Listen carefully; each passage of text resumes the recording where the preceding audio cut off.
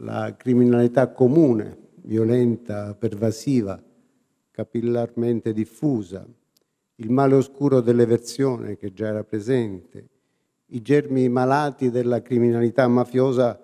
che vanno via via consolidandosi anche grazie forse a delle sottovalutazioni di cui